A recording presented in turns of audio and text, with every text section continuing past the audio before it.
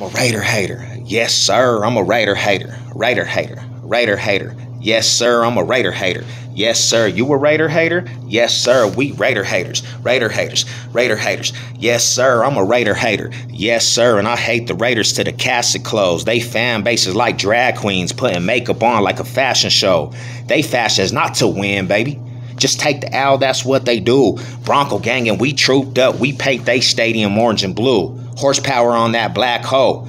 My D stay on attack mode. Used to say Carr was a Lamborghini, then he ended up on crash mode. Charged up through the south stand, orange blood like the barrel man. Mile high salute to all my riders, especially if you Raider hate.